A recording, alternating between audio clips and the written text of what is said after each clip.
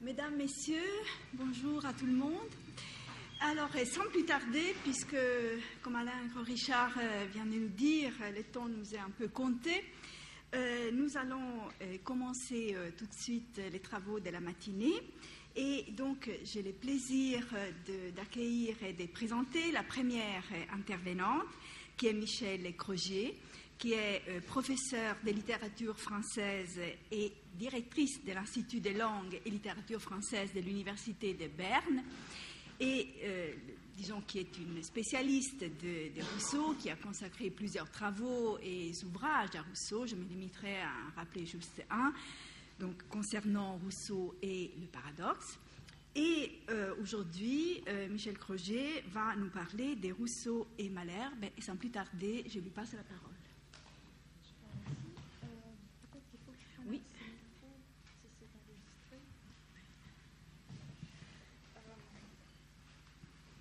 Bonjour. Est-ce que ça fonctionne comme ça? Je ne suis pas très habituée avec les micros.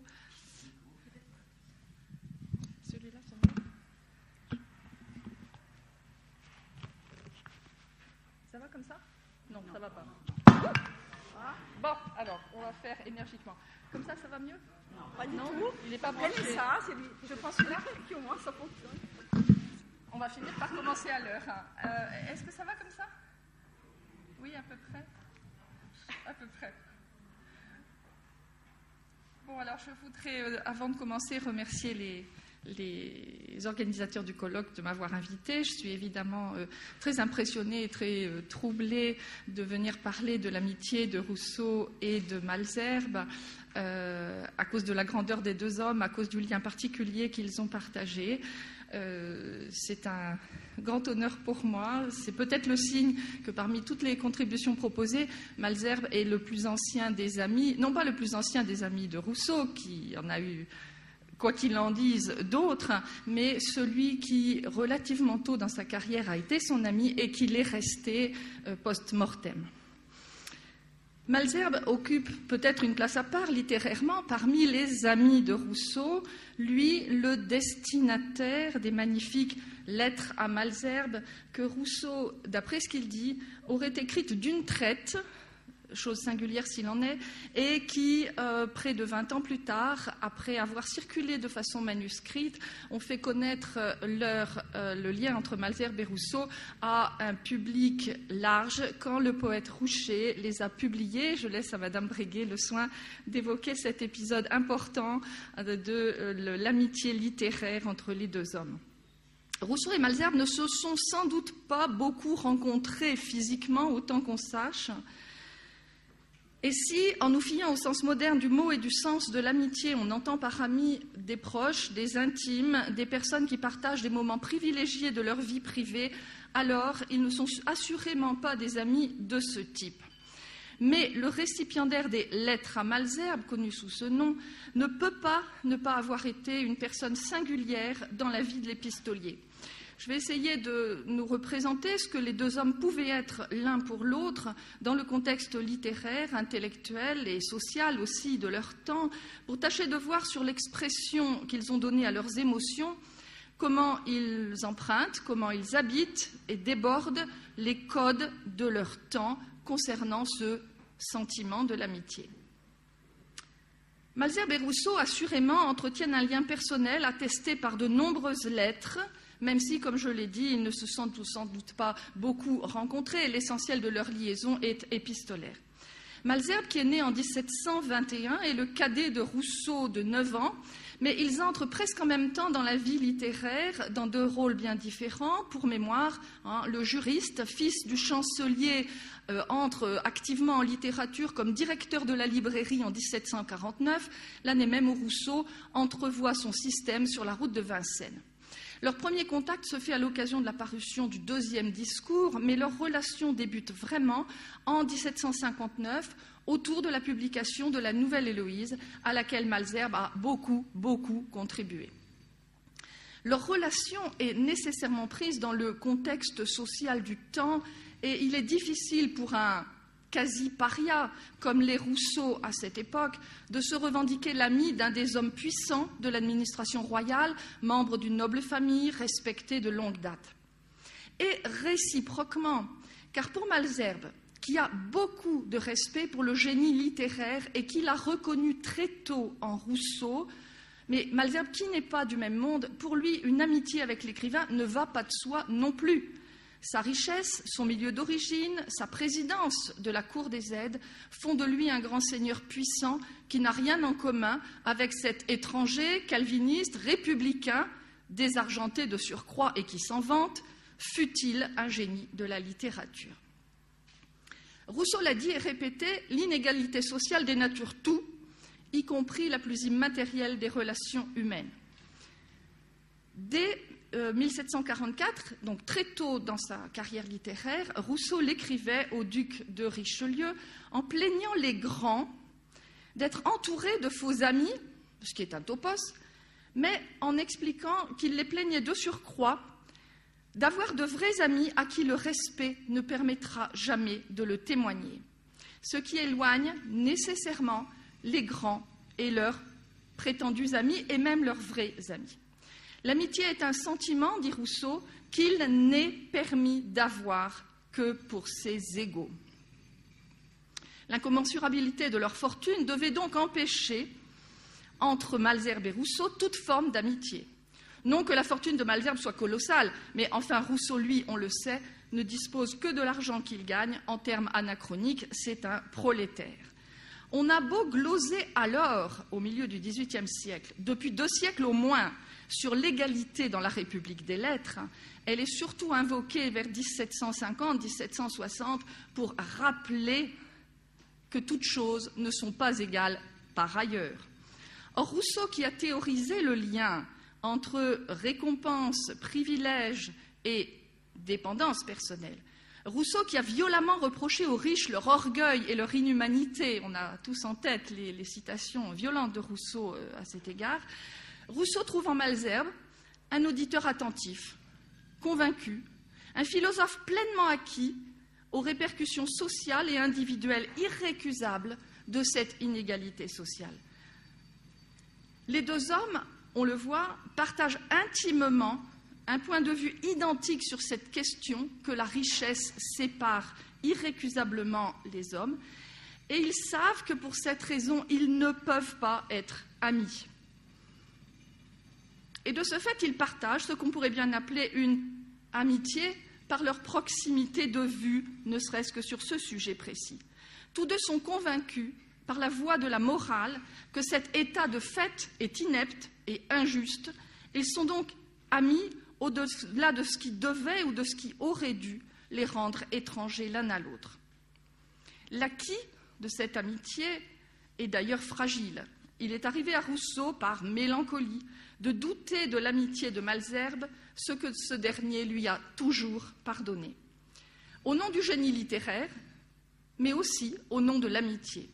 Je ne vois pour ma part aucune raison de récuser, pour désigner leur lien, ce beau mot d'amitié. On peut préférer complicité, par exemple. Cela ne change rien, me semble-t-il, et rappelle seulement que nous ne comprenons peut-être plus beaucoup le type de relation, de sentiment qu'ont partagé les deux hommes.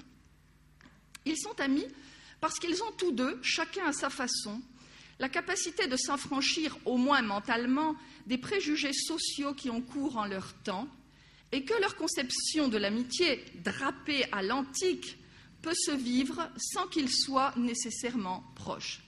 Ils partagent une amitié de nature littéraire, ancrée dans une culture juridico-historique où Plutarque a plus de place que l'Astrée, où est vivant le souvenir de Cicéron pour qui l'amitié est exclusive aux âmes de bien.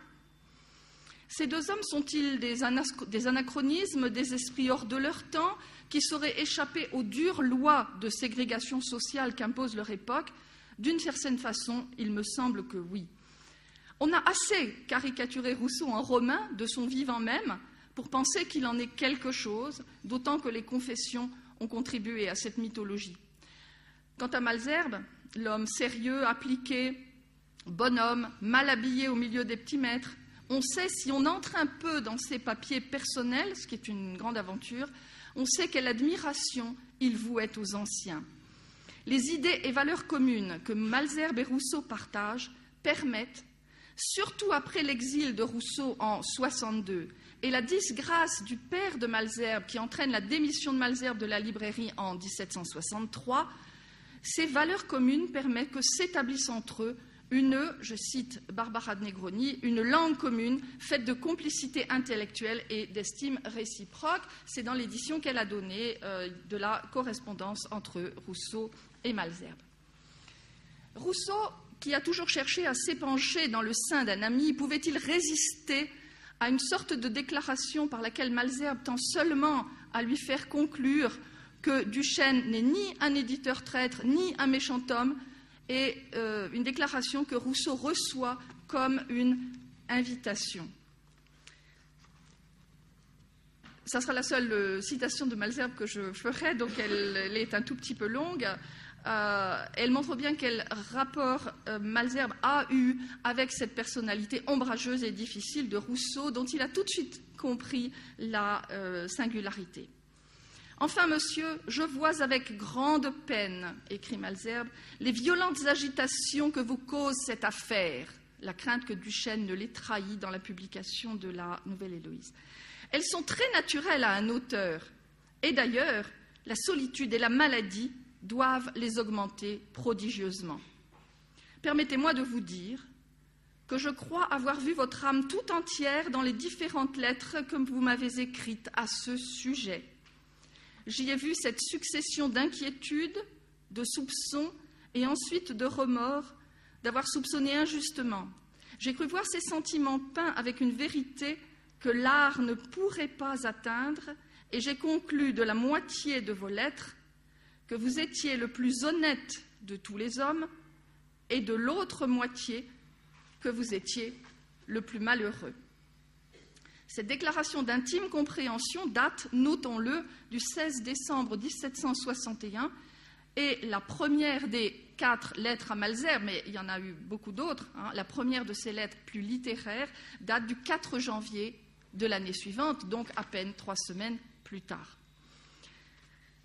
Comme les deux hommes ont eu peu d'occasion de se rencontrer et ne les ont pas apparemment particulièrement suscités, on peut bien considérer que le modèle de leur amitié est celui de ces amitiés savantes que partagent des hommes qui ne se sont parfois jamais vus d'un bout de l'Europe à l'autre. Le plus clair de leur commerce, comme on disait à l'époque, aura eu lieu par plume interposée. Rousseau a trouvé en Malzerbe le bon lecteur, celui qui comprend à la fois l'auteur et son propos, jusqu'au point d'accepter l'espèce de retraite littéraire de Rousseau, dans les années 70, les deux hommes affectent de ne correspondre que sur des questions de botanique. Ils se sont comportés en amis au sens que ce rapport pouvait avoir entre eux. La correspondance elle-même est une forme d'amitié. À Malzerbe, Rousseau a envoyé 52 lettres, une en 1755 et les 51 suivantes entre mars 60 et octobre 73, soit plus de trois par an en moyenne. Symétriquement, on connaît 34 lettres de Malzerbe à Rousseau, et il y a des raisons de penser qu'il y en eut un peu plus. Mais bien sûr, c'est difficile de, de, tabler sur des documents qui manquent. Signe non équivoque, leur correspondance, même partielle, telle que nous la connaissons, atteste que Rousseau n'était pas incapable de se faire et de se conserver un ami authentique. C'est dans le corpus de leurs échanges qu'il nous faut retrouver la forme de leur amitié, comme les intéressés le faisaient d'ailleurs eux-mêmes.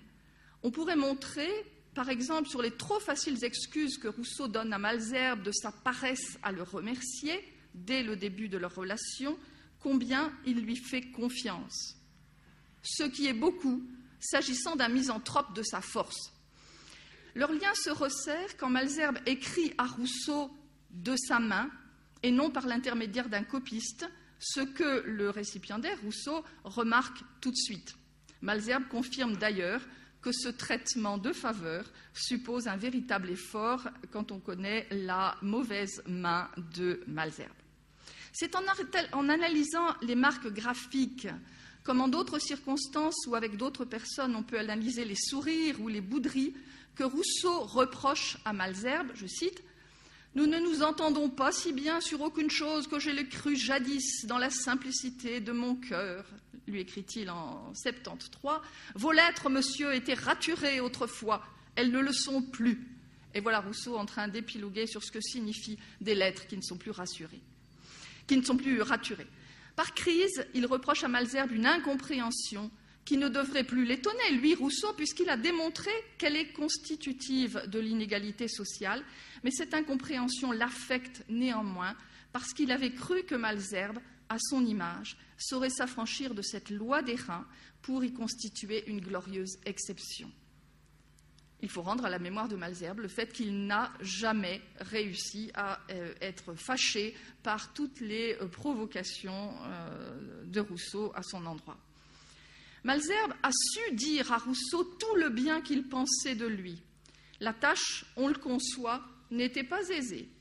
Malzerbe y pourvoit par un lot de périphrases élogieuses qu'il utilise pour s'adresser aux philosophes non pas pour le flatter, ce que l'ombrageux jeune voix aurait très mal pris, mais pour lui manifester la considération toute particulière qu'il a à son égard. Euh,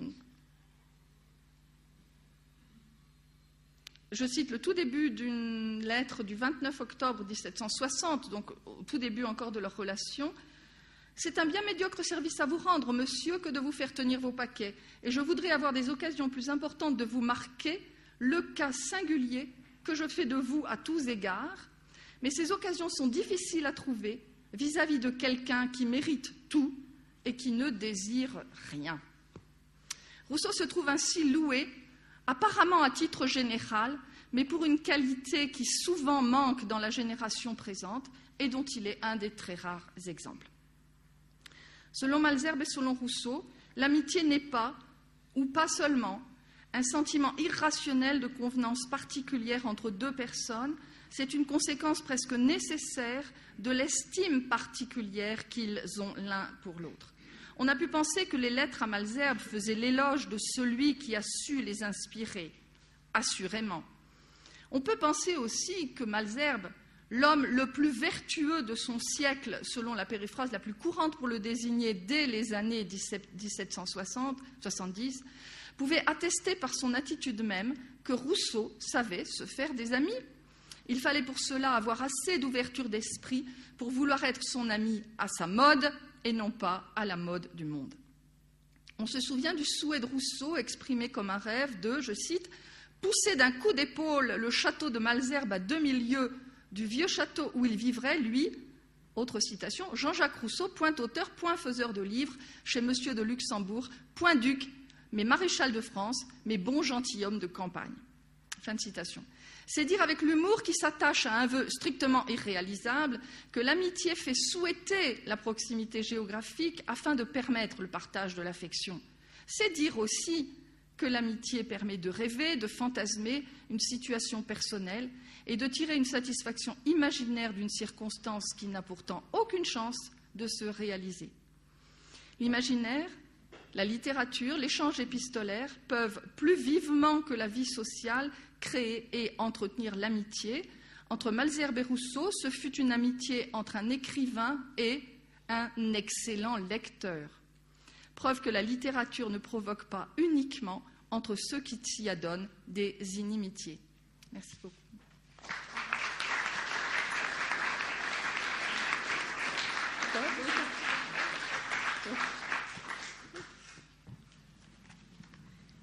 Merci beaucoup pour cette belle entrée en matière. Euh, nous passons tout de suite donc euh, à la deuxième intervention, puisque la discussion sur les communications de la matinée seront à la fin euh, de la matinée, à la fin de la troisième intervention. Et donc j'ai le plaisir maintenant d'accueillir Éric Leborgne, qui est maître des conférences de littérature française à Paris 3 qui est entre autres, qui s'intéresse entre autres à Rousseau, dont il a procuré euh, plusieurs éditions et qui est chargé de l'édition d'une partie des confessions, euh, donc pour euh, l'édition Garnier. Alors, à lui aussi, sans plus tarder, je lui passe la parole.